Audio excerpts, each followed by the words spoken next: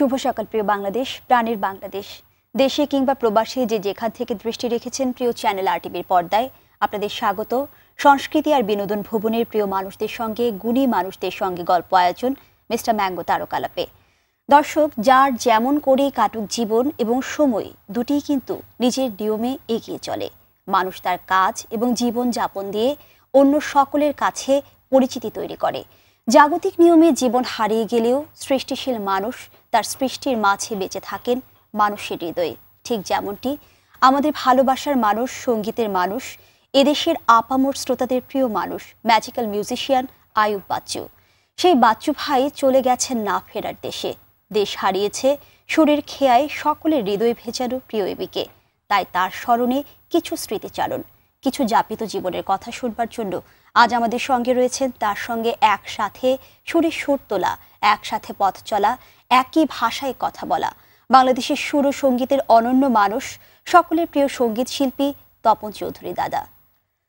দাদা আপনাকে স্বাগত।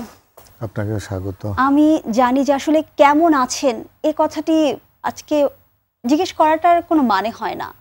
কারণ আমরা অপ্রিয় সত্যটা স্বীকার করতে খুব কষ্ট হচ্ছে। এটাই জীবনের নিয়ম, জাগতিক নিয়ম মেনে নিতে হবে। আজ, কাল, পরশু, আস্তে আস্তে সবাই ভুলে যাবে। কিন্তু এবিকে যেন না ভুলে, সেটাই আমি চাইব। আয়ুব বাচ্চুকে যেন না ভুলে। সে একাধারে আমার সহশিল্পী, আমার মিউজিক ডাইরেক্টর আমার মিউজিশিয়ান আমার সংগীত পরিচালক, আমার ছোট ভাই, আমার কলিগ আমার একসাথে দশ বছর, তার সাথে আমার সোলসের সাথে একসাথে কাটানো। তো আমার মনে হয় এই জীবনটা এর পরের থেকে যখন থেকে বাচ্চুকে চিনি তারপর থেকে বাচ্চু আর আমার একটা সম্পর্কটা কখনো কখনো কোনো কিছুর ঊর্ধ্বে যায়নি। ভাই ভাই বড় ভাই ছোট ভাই এটা মেইন ছিল। এক কথায় বলতে গেলে আসলে সংগীত জগতে সহযাত্রী। ও সঙ্গ সহযাত্রীর চেয়ে একটু বেশি। সহযাত্রী তো আমি একসাথে ছিলাম চললাম ফিরলাম। বাট একদম আপনজন। বা আপন আপনজনের বাচ্চু আমার সম্পর্কে যেভাবে বলতো মানুষকে এবং আমার সম্পর্কে তার যে ধারণা আমাকে যেভাবে বলতো আমার নিজেরই লজ্জা লাগতো মাঝে মধ্যে। বাচ্চু আমি তো এরকম না। বলে না আপনি আপনার আপনারটা আপনি থাকেন আমি আমাকে বলতে দেন আমার মতো। এভাবে স্বতঃস্ফূর্তভাবে বলতে পারাটা কিন্তু বিরাট ব্যাপার এবং ওরকম মানুষই পারে। যারা ওরকম উদার যারা ওরকম কোয়ালিটির মানুষ যারা অনেক মহান অনেক বড়। বাচ্চু আমাদের মধ্যে নাই কিন্তু বাচ্চুর এই যে এই কথাগুলো কিন্তু আপনার মানুষের কোনো কিছুই থাকে না। এ বা গাড়ি বাড়ি দেহ বলেন কিছুই থাকে না। তার থাকে তার কথা তার ব্যবহার তার আচার তার সে কেমন ছিল মানুষের সাথে সেটাই সবচেয়ে থাকে বেশি। এবং সৃষ্টিশীল মানুষগুলোর কর্মগুলোও কিন্তু থেকে যায়। ওটাই দিয়ে তো তার সে। আমি ছোট্ট করে বলি বাচ্চু, আমি, আমরা সব নারায়ণগঞ্জে একটা অনুষ্ঠান করতে গেছি। তো ও খুব খাওয়ার পাগল আর হলো খুব যে কোনো নতুনত্ব কিছু সব সময় চায়। তো আমি বলছি, এখানে নারায়ণগঞ্জ শহরে একটা রেল লাইনের ওখানে একটা চায়ের দোকান আছে, ওখানে মালাই দিয়ে চা বিক্রি হয় এবং মালাই পাওয়া যায়। তখন তাহলে আমি আর আপনি চলেন না। প্লিজ, ওরা কাজ করুক, আমরা চলে যাই। আমরা একটা রিক্সা নিয়ে চলি, তখন তো অত পরিচিতি ছিল না চিন্তা না কেউ ওরকমভাবে এটা বলছি আমরা ধরেন এইটি ওয়ান এইটি টুর দিকে, হুম? তখন আমাদের ক্যাসেট বের হয়নি বা এরকম। তো ওখানে প্রথম নারায়ণগঞ্জের অনুষ্ঠান। তো ওখানে গেছি, ওকে নিয়ে আমি আর ও চলে গেছি একসাথে। গিয়ে ওখানে গিয়ে আমি সে চার পাঁচ প্লেট ওই মালাই খেলো খেলো। তারপর চা, ওই চা, বলে ভাই, আরেকটা দেন। ও একটু খাদ্য রসিক ছিল এবং খুব মজা করে খেতে পারত এবং একা খেত না, সবাইকে নিয়ে খেত সবসময়। এটা সবাই জানে। খেয়ে তারপর বলা যে, আজকে যা খাইলাম, গানটা যে হবে। মানে এগুলো চিন্তা করেন মানে ওইটা দিয়ে সে চিন্তা করছে, অনেক ভালো খেয়েছে, অনেক মজার একটা খাওয়া খেয়েছে। আজকে অনুষ্ঠানটা খুব ভালো হবে, খাওয়াটা খুব ভালো হবে, গানটা খুব ভালো হবে। ওরকম মানে তার পাগলামি, গান বাজনা নিয়ে সব কিছু নিয়ে। এবং গানকে মন প্রাণ দিয়ে ভালোবাসতো। কমপ্লিট মিউজিশিয়ান সে ছিল। আমি না বলতে বলতে আর মানে মনে হচ্ছে যেন যতই বলি ভাই বাচ্চু সম্পর্কে আমি তো কিছুই বলি নাই। কারণ তার সাথে আমার যে স্মৃতি। দাদা ঠিক এমনটি মনে হচ্ছে না যে হয়তো বা আয়ুব বাচ্চু ভাই আপনার চোখের সামনেই বসে আছে। চোখের মানে সামনে আমরা এখন দেশে চলে গেছে এটা আসলে মানতে কতটা কষ্ট হচ্ছে ওই তার মৃত্যুর সংবাদ শোনার পর থেকে আমার মনে হচ্ছে যে বাচ্চা বোধহয় আমার আশেপাশে আছে। এক্ষুনি আমাকে জড়ায় ধরবে পিছন থেকে। এক্ষুনি আমাকে বলবে তপন দা চলেন আমার একটু খাব কিছু। হ্যাঁ? এবং অসুখ বিসুখ তার মার কাছে নিয়ে চলা চলেন মার কাছে আমার মা আম্মা বলছে আপনারা নিয়ে যেতে আপনি বলেন বুঝাই আমার মা তো চায় না আমি গান করি মিউজিক করি। কেউ তো ডিপেন্ডেন্ট নাই আমাদের সমাজে মায়ের। জন্য পাগল সে হ্যাঁ। এক কথায়। তো মায়ের কাছে নিয়ে যাবে এখন কেউ বলে যে, আমি ওর মা আমাকে তুমি আমার বড় ছেলে, তুমি ওকে একটু দেখবা। ও গান করবে, পারবে? যে না, ও তো কেন পারবে না? ও খুব ভালো বাজায় তুমি একটু নিয়ে দেখবা। ওর একটু দেখবা, ওর একটু দেখবা। ইভেন ওর আম্মা মারা যাওয়ার আগে হসপিটালে ছিল এখানে সেন্ট্রাল হসপিটাল একটাতে। লাইব্রেরি ছিল মনে। ওখানে ও এবার খুব অসুস্থ ছিল। আমি যাওয়ার পরে আমাকে ও তুমি আসছো? ও চিড়িয়াখানার ভাষায় কথা বলতো। হ্যাঁ তুমি আসছো? আমি তো মনে করছি তুমি আমার ভুলে গেছো। আমি না আপনারা কেমনে ভুলি? আমি তো ছিলাম না আসলে দেশে ওই জন্য। বাচ্চারা কিন্তু দেখবা। মানে বুঝছেন? মানে আবদারটা কোথায় যে বাচ্চাকে একটু দেখে অধিকারের রাখবে। জায়গা থেকে এখন কিন্তু। বাচ্চা আমাকে দেখার হয়ে গেছে তখন। বাচ্চু কিন্তু তখন আমাকে দেখার হয়ে গেছে আমাকে দেখার মতন। আমি বাচ্চাকে কি দেখব সেই তো আমাকে দেখবে। হ্যাঁ। কিন্তু ওই যে অধিকার অধিকারটা হ্যাঁ আবদারটা একদম সবসময় বাচ্চু আমাকে। একবার ইয়েতে গেল মন্ট্রিয়ালে অনুষ্ঠান করতে গেল দাদা অসংখ্য স্মৃতি এই মুহূর্তে আপনার মাথায় আমি বললাম তো মানে কোনটা ছেড়ে কোনটা বলব? করে আমরা শুনব দাদা তবে এই মুহূর্তে একটা বিরতি নিতে হচ্ছে বিরতির পরে এসে আমরা স্মৃতিচারণ আবার. করব। দর্শক প্রিয় এবিকে নিয়ে শুধু ভালোবাসার কথা বাস্তবতা আর পুরোটাই সত্যিকারের স্মৃতিচারণ শুনছিলাম। আজকের মিস্টার ম্যাঙ্গোরি ব্যতীত তারকালাপে এদেশের আরেক মিউজিক লেজেন্ড প্রিয়জন তপনদার কাছে। স্মৃতির এই অসমুদ্র আলাপ থেকে নিচ্ছে সংক্ষিপ্ত সময়ের বিরতি। সঙ্গে থাকবেন।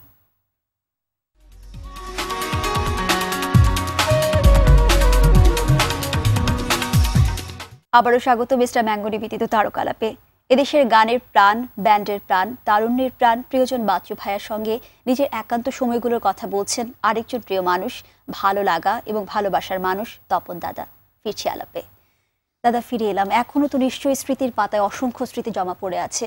শুনব দাদা মানে তবে আপনি জানেন কোনটা ছেড়ে কোনটা বলব বলেন? সব তো এত স্মৃতি তাই না? একটা একটা করে একটু একটু করে না হয় আমরা শুনব।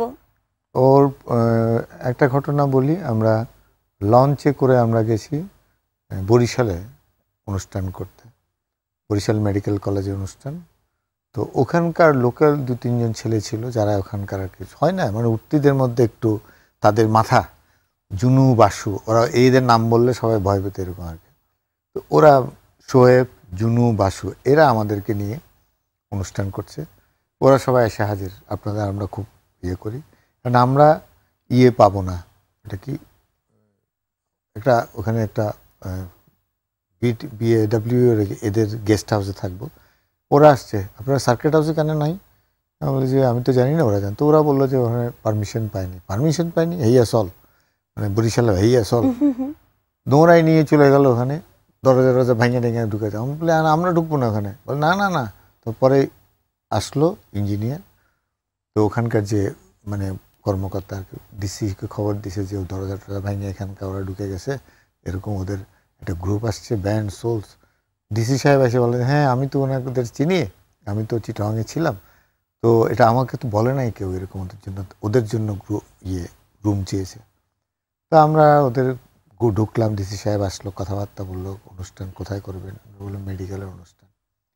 এরকম তো বাচ্চু এমনি, ওই লোকাল তখন ওখানে একটা আবার বাহিনী ছিল, ওই ছেলেমেয়েরা আর কি। বাচ্চা আবার খুব একটু মানে মানসিক অনেক ইয়ের, মানসিক শক্তি তার অনেক বেশি, কিন্তু কারোর সাথে সে মারামারি বা কোনো ধরনের কোনো কিছু হিসিং জীবনে যায়নি। কেউ বলতে পারবে না সে কারোর সাথে এই ধরনের কোনো ঝগড়াঝাটি করেছে। তো ওকে বলছে যে বাচ্চু ভাই আমরা দেখবেন আমরা সবসময় একসাথে থাকি সিলেটি ভাষায়। কিন্তু আমরা কাউকে ভয় পাই না এখানে। কীরকম? বলে যে ভয় পাই না কারণ আমরা একটা গ্রুপ। আমাদের এই বাহিনীকে বলে খুর বাহিনী। তো ও তো বলে খুর বাহিনী আবার কি? তখন তো ভয় পাওয়ারই কথা। না না ও খুর বাহিনীটা কি? এটা জিজ্ঞেস করতেছে আর কি। ওই বলার সাথে সাথে দশ বারো জন ছেলে ফট করে পকেট দিয়ে খুর বের করে ফেলল। ওই যে দাড়ি কাটে খুরগুলো ওর অনেক ধার। সাথে? বলে ভাই তোমরা সরো ভাই আমি তোমাদের সাথে আর কথা বলতে চাই না। তোমরা এখান থেকে সরে যাও ভাই আমি অনেক দূরে থাকব ভাই। আমার বলে দেখছেন তপন দা? এদের সাথে থাকা যাবে না। চলেন চলেন বেগে যাই বেগে যাই। হ্যাঁ? তো এরকম অনেক স্মৃতি। ও খুব মানসিকভাবে খুব বাচ্চা ছেলে কিন্তু। শিশু সত্তা এই বাচ্চা বাচ্চু যেটা ছোট বাচ্চুই ছিল সবসময় শিশু শিশু সুলভ। এবং রেসপেক্ট কারে বলে? সবাইকে ও ও সাংঘাতিক রেসপেক্ট করতো প্রত্যেক সিনিয়র মিউজিশিয়ান হলে তো কথাই নাই। প্রবালদার নাম শুনলে বলতো, ইস, এইরকম একটা গলা, এরকম একটা সিঙ্গার চিটাগাঙে ছিল প্রবাল চৌধুরী। ভীষণ ভক্ত ছিল তার। সব সময় বলতো, রথীন্দ্রনাথ রায়ের খুব ভক্ত ছিল সে। সব সময় বলতো আমাকে, দাদা, এরকম গান, ওনার মতন গান যদি করতে পারতাম, ওনার জন্য যদি গান হইতো। আর যেটা নতুন দেখতো, কিছু একটা, তার এটা লাগবে। এনে হ্যাঁ আজকে তো বাচ্চা আমাদের মধ্যে নেই। এত কথাবার্তা বলছি আমার মানে অনেক উল্টাপাল্টা হয়ে যাচ্ছে মানে এবং আমরা জানি দাদা যে বাচ্চু ভাই সোলসে দশ বছরের একটা জার্নি ছিল। সেটা কীভাবে যুক্ত হলো? তার পরের জার্নিটা কেমন ও ছিল? করে ওখানে। আরেকটা ব্যান্ডে বাজাতো ওখানে। ও প্রথম বাজাতো হলো স্পাইডার জেকব ডাইস ওনাদের সাথে। ওটাও ক্যাজুয়াল বাজাতো ওরকম সিরিয়াসলি না। সে খুব ভালো বাজাতো ইংরেজি গান করতো। দাদা সোলসে যুক্ত হবার গল্পটা একটু বড় করে শুনি। এই তো বলছি। বিরতির সময় হয়ে গিয়েছে বিরতি নিয়ে এসে শুনি। আচ্ছা ঠিক আছে। দর্শক এবিকে নিয়ে কথা একটা কথার সঙ্গে হাজারটা কথার যোগসূত্র সেই কথা খুব অল্পতে শেষ হয় না। তাই এই কথার শেষ অংশে ফিরবার আগে আবারও মিস্টার ম্যাঙ্গো নিবেদিত তারকালাপে খানিকটা সময়ে নিয়ম মানা বিরতি নিচ্ছি। ফিরব দ্রুত। ততক্ষণ সঙ্গেই থাকবেন প্রত্যাশা করছি।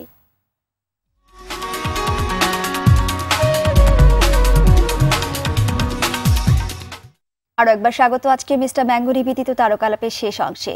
প্রিয় বাচ্চু ভাইয়ের স্মৃতিচারণ নিয়ে আজ আমাদের সঙ্গে আছেন গানের মানুষ সংগীত এবং ব্যান্ড সঙ্গীতের অনন্য কীর্তিমান মানুষ প্রিয়জন তপন চৌধুরী দাদা।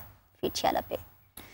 দাদা বাচ্চু ভাইয়ের সেই সময়ের সোলসের সোলসের আশাটা বলছি। একদম বলছিলেন দাদা আমরা হ্যাঁ। শুনব তবে দাদা আপনি জানেন তারকালাপে দর্শকদের জন্য প্রতিদিন একটা কুইজের আয়োজন থাকে। আমি কুইজটি জানিয়ে দিয়ে ফিরে আসি।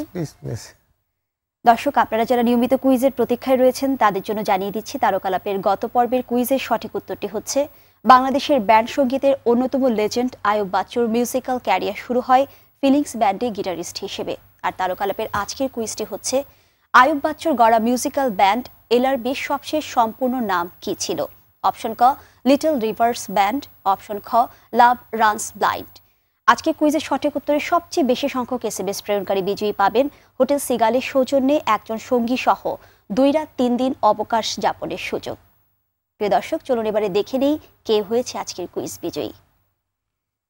দাদা আমাদের বিজয়ীর নাম আছে আমরা আপনার মুখ থেকে শুনতে চাই। বিজয়ীর নাম হলো সোহেল।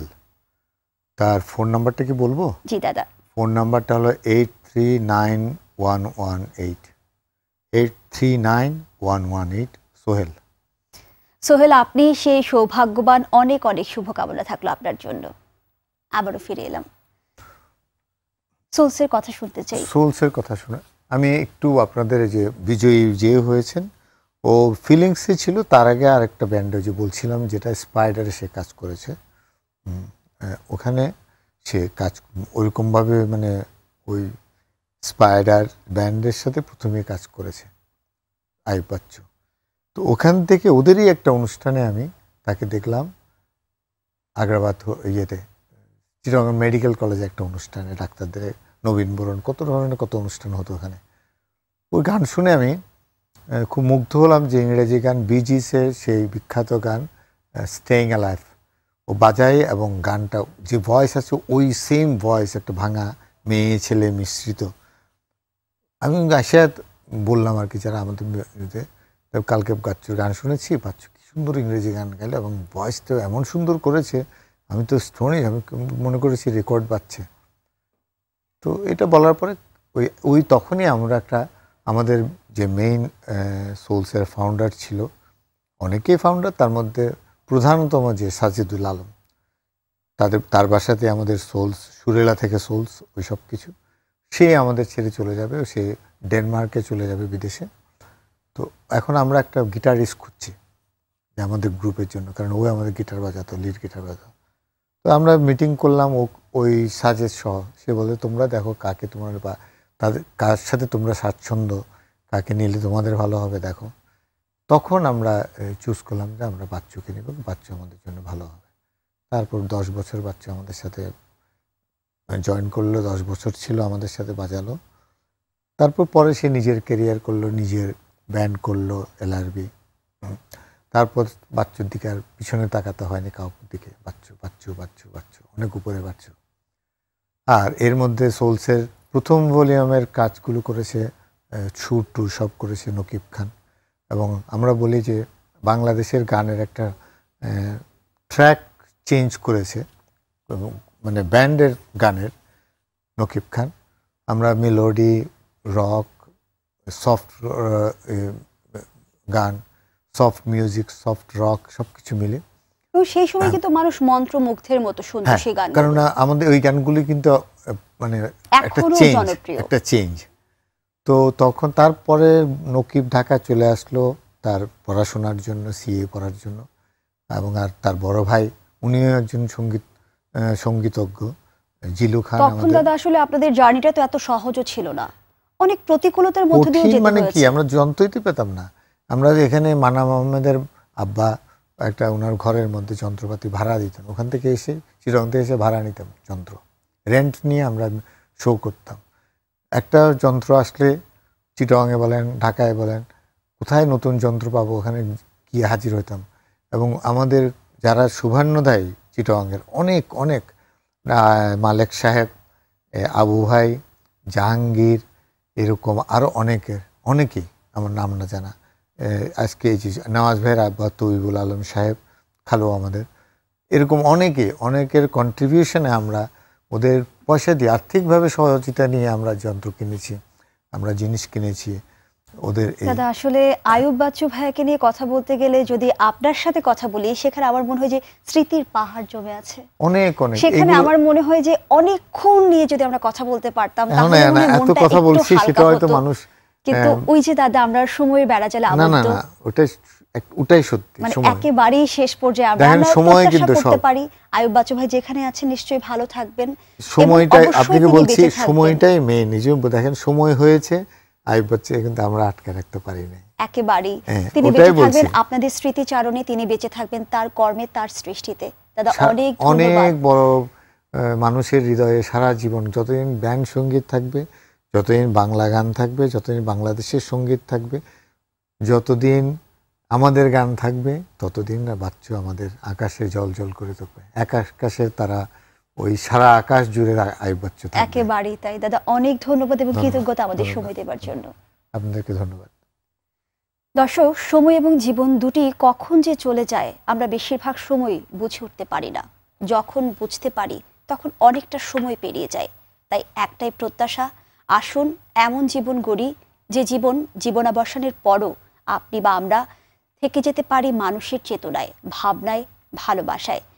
যেমন জীবন গড়েছিলেন প্রিয়জন আয়ুব বাচ্চু, যেমন জীবনের যাত্রী মান্যবর প্রিয়জন তপন চৌধুরী দাদা। আজ বিদায় নিচ্ছি। কাল আবারও তারকালাপ হাজির হবে প্রিয় কোনো মানুষকে সঙ্গে নিয়ে। সে পর্যন্ত ভালো থাকুন, ভালো রাখুন নিজেকে এবং চারপাশের সবাইকে এবং প্রিয় দেশ, প্রিয় মাতৃভূমি বাংলাদেশকে। আর হ্যাঁ দর্শক, এই অনুষ্ঠানটি সহ আরটিভির জনপ্রিয় সব অনুষ্ঠান দেখতে ভিজিট করুন W W W dot YouTube slash RTV এন্টারটেনমেন্টে ধন্যবাদ সবাইকে।